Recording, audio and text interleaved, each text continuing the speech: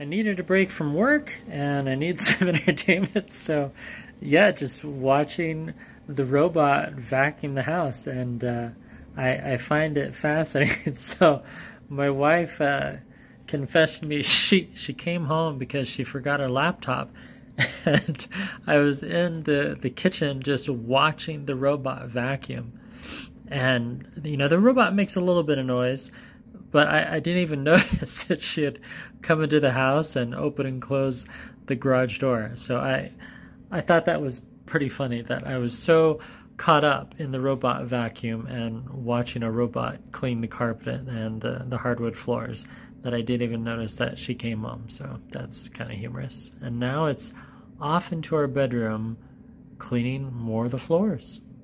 Here's some fun time lapse of the vacuum cleaning.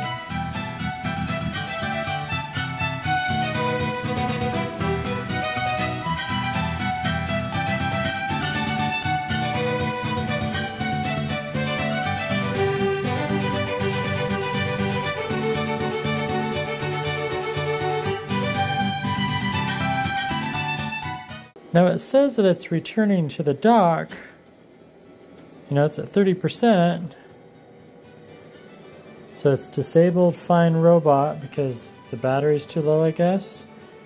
And once in a while, it will run out of juice and get or and or get stuck. Like right there, it was cleaning behind the door and it'll like accidentally close the door. So I'm gonna close this and hopefully it doesn't get stuck. But it's nice, you know, it just automatically cleans. Look at those nice clean carpet lines that the robot made for us. Another huge perk, it doesn't bother the puppy too much.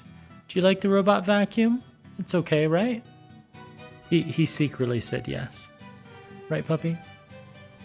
Does it bother you? Does the sound bother you? I'm sorry. And there it is, just going back and forth. Are you trying to go back to the docking station? You're, you're to use every little bit of energy you have left to clean our house. Thank you, Sharky. Oh, watch out. Oh, watch out. Oh, that was close. It almost got you. It really is just nice to have a robot in the house. You know, I just walk upstairs, walk into the room, and it's and it's clean. Several times over the past week, okay, 11 days, I have wished that it could just kind of go back and forth more, do a Z pattern, but for the $130 model, it doesn't bother me so much. I did it first. No, not so much. Just got stuck. Now it just got stuck underneath the bed, so I had to close that door because it is getting really low on juice.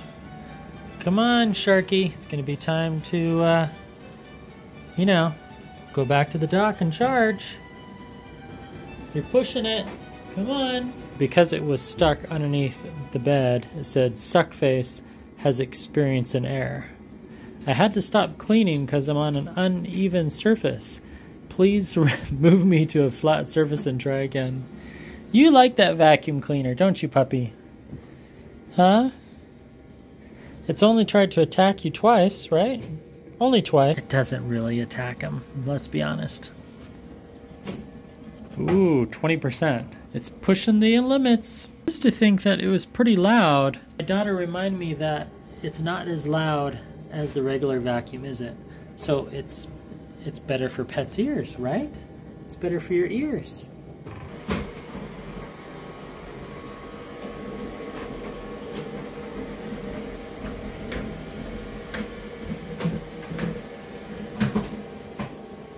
Battery still shows at 20%. It is cleaning away. Just said its front bumper is stuck. Oh man, what did you do? You are stuck. You got, oh, you're having a fight with the other shark. Okay, here we go. Let's, you've cleaned this area like three times. So we're gonna put you out and, no, no, don't, don't go back there. There we go. So now we've shut that door, it can't go in there. You're going back to your dock now? You've been saying that for like the last 15 minutes. Oh, I think it's gonna go home now. So there's the dock, right back there. Are you trying to remember where your home is? 20%.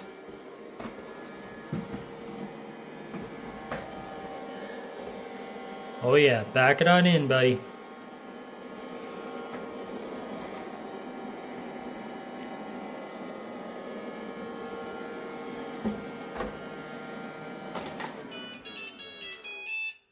Nice. Now the funny thing is, the cleaning, well, the home station, the dock, was about five inches over here, and I moved it to the right, and it still knew exactly how to get back in or return home.